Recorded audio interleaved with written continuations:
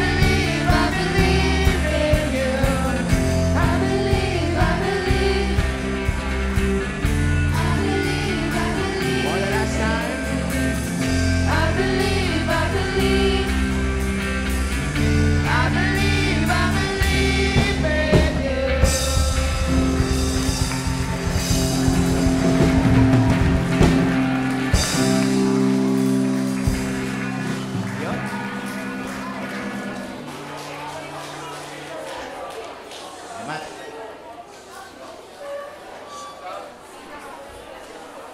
Ah, ito na po yung pangalawa sa huli nating ano.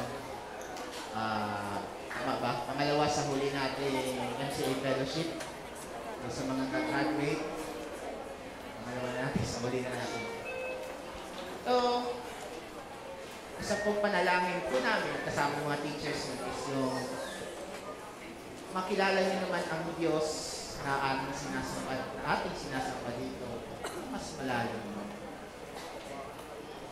Yun po ang dahilan bakit kayo nandito sa Jesus. Para makilala niyo yung Diyos, ating Panginoon Jesus.